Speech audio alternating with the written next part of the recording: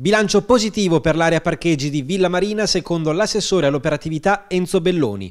Un progetto che insieme alla pedonalizzazione di Viale Trieste ha rivoluzionato il modo di vivere il lungomare pesarese nell'ultima stagione estiva. L'intenzione è di verificare nelle prossime settimane la possibilità di acquisto dell'area per confermare anche nell'estate 2021 la pedonalizzazione del viale e i posti gratuiti nella zona attualmente di proprietà dell'Inps. Devo dire che è stata un'intuizione molto felice quella di chiedere ad INPS di utilizzare quell'area dismessa per, eh, come parcheggio. E adesso il nostro obiettivo è eh, mantenere l'isola pedonale in Viale Trieste magari modularla secondo quelle che possono essere le criticità emerse in questa sperimentazione, anche se oggettivamente devo dire che è andata molto bene e a parte ovviamente qualche malcontento il grosso del di Pesaresi insomma, apprezzato. È chiaro che nell'obiettivo del, del, sindaco della giunta c'è quello di fare un approfondimento serio sulla possibilità di acquisire dall'Inps le aree di Villa Marina, sia quella ex sportiva diciamo, con i campi all'aperto che l'altra area con la palazzina e dovremo lavorare assieme ad Aspes per una soluzione condivisa che possa interessare sia le esigenze di Aspes che quella del Comune e io penso che nel giro di un paio di mesi prenderemo una decisione anche perché poi diventa strategico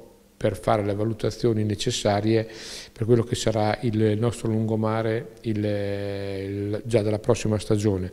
L'area di Villa Marina ha permesso all'amministrazione comunale di eliminare 60 posti auto da Viale Trieste. I parcheggi diventati a pagamento e situati nelle vie traverse e parallele del viale rimarranno attualmente blu, come richiesto da diversi residenti.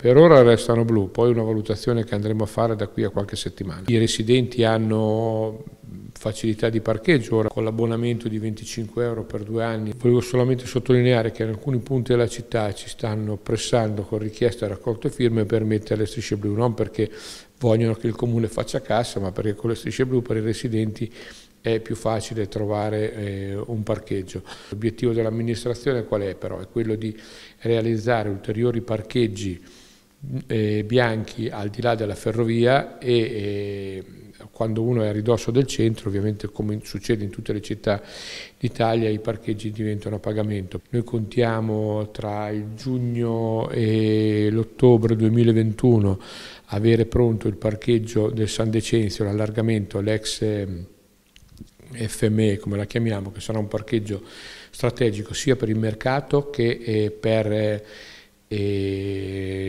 centro storico. Novità anche sul nuovo parcheggio di Baia Flaminia. L'inaugurazione è vicina, ma si attende la realizzazione di una rotonda lungo Foglia delle Nazioni, che assicurerà l'ingresso e l'uscita dal parcheggio in sicurezza. Abbiamo deciso di fare la rotatoria subito, di partire prima possibile con la rotatoria, eh, così che evitiamo magari il pericolo di, di, incidenti, anche se adesso il traffico è decisamente ridotto rispetto a quest'estate, però visto che abbiamo fatto un lavoro lo completiamo, aspettiamo un paio di settimane e completiamo anche quell'intervento lì.